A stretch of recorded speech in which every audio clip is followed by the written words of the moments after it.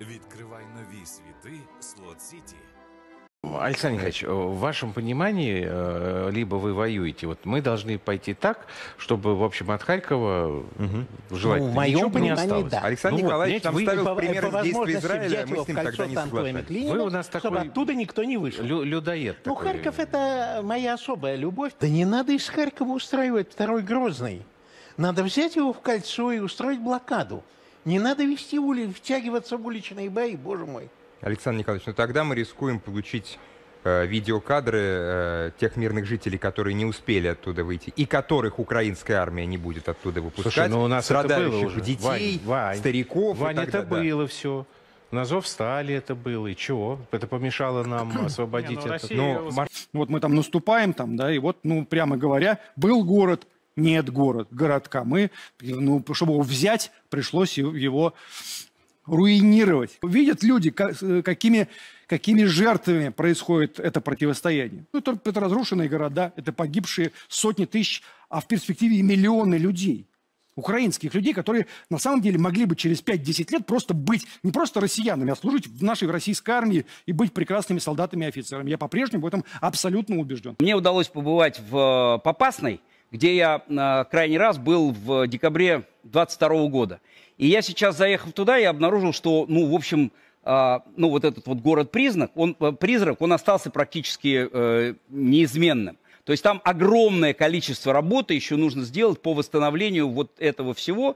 А, Я сейчас в рекламу выложил уже этот ролик э, к себе в телеграм-канал. Можете посмотреть. Там это не то, что какие-то там выдержки. Это вот ты просто можешь ехать и снимать, и снимать, и снимать, и снимать. Ничего не изменится. Пане Олексію, щойно говорили з е, Юрієм Федоренком з Ахілес, ударний батальйон, е, бат- ударний ВПЛА 92-ї бригади, і він каже, що десь Пару місяців росіяни будуть намагатися точно використовувати свою перевагу зараз, поки не надійде західна допомога. Це, до речі, збігається з оцінками розвідки західної американської, яку публікував своїми джерелами New York Times позавчора. Про те, що до липня росіяни будуть намагатися використати всі свої можливості, всі свої резерви, всі свої ресурси для того, щоб захопити якмога більше українських територій, просунутися якнайбільше по фронту. Е, що ви можете про це сказати? Яка, яка наша зараз стратегія?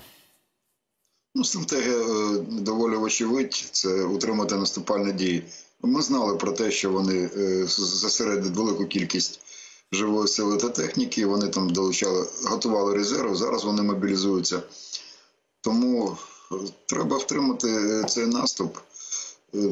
Давайте, давайте, щоб ми всі розуміли, що за всі роки, які ну, ми ведемо літопис наших війн за останні там двічі, навіть три тисячі років, таких випадків, щоб армія, яка наступає, щоб вона ніде не просунулась, тим більше, якщо армія була підготовлена і з- пере- переважає по кількості, то такого ще не було. І росіяни теж де-не-де будуть просуватися. Але це треба сприймати як тактичні успіхи, як тимчасові успіхи, які ми потім ну, відіграємо знову в зворотньому напрямку.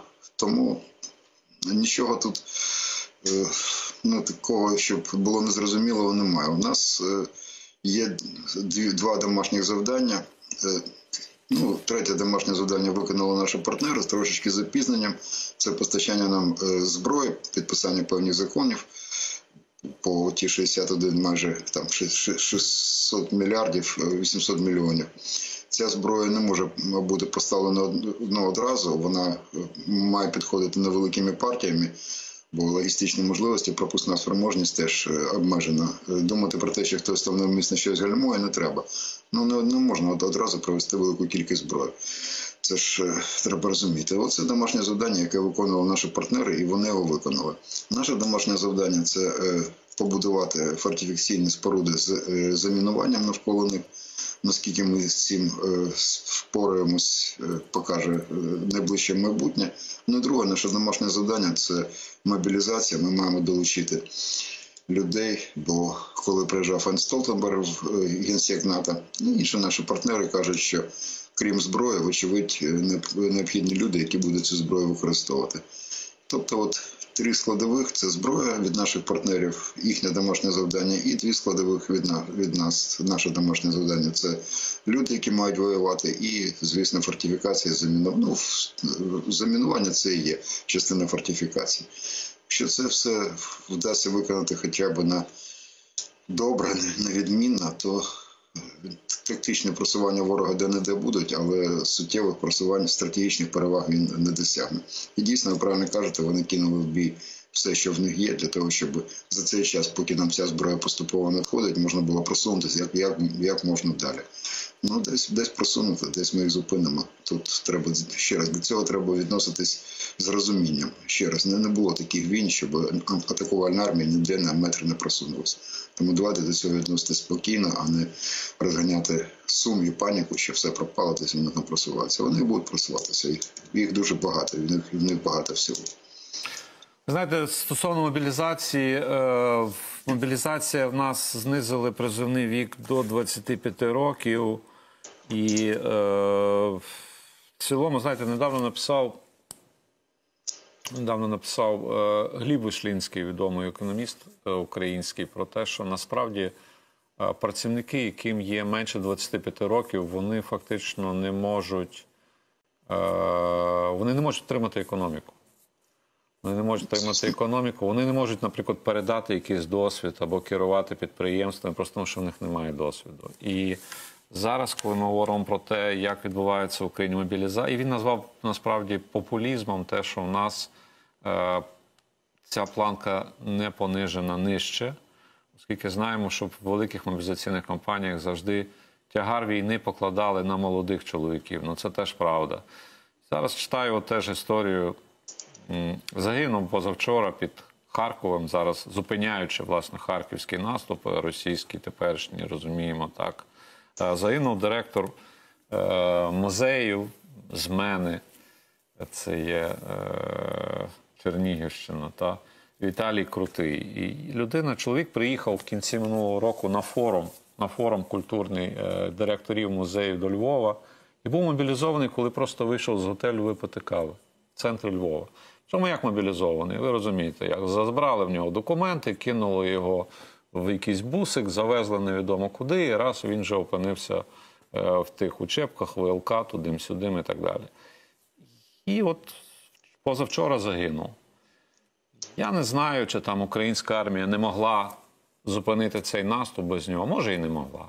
Може і не могла. Але я впевнений, що маса молодих людей, які зараз весело п'ють пиво і щебечуть у Львові щодня і забиті буквально всі кафе, всі ресторани. І то не тільки львівські хлопці. То зі всієї України їдуть на вихідні, відпочити, всі, кому 25 нема, наприклад. Я відчуваю, що щось не то з тою мобілізацією. Які ваші враження? Можна погодитись. Ну, по-перше, те, що був знижений призовний вік, це дало можливість, додаткова можливість, те ще не цифра, яку вже ми маємо до 100 тисяч порахували людей. Додатково можна буде залучитися от саме за ці два роки. Размер пакета составляет 61 миллиард долларов. Законопроект предусматривает 8 миллиардов экономической помощи Украине. В тексте документ прямо сказано, что США обязаны предоставить Киеву дальнобойные ракеты «Атакмс». Это серьезное оружие. Те самые ракеты, которыми Украина накануне ударила по нашему военному аэродрому Джанкоя.